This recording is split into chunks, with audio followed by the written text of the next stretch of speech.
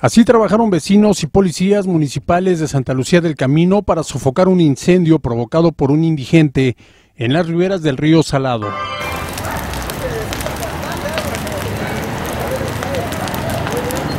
Eso ahí para que no pase.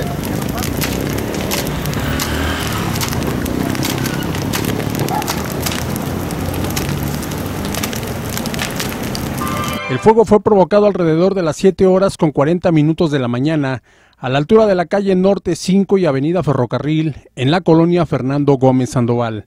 Las llamas avanzaron con rapidez.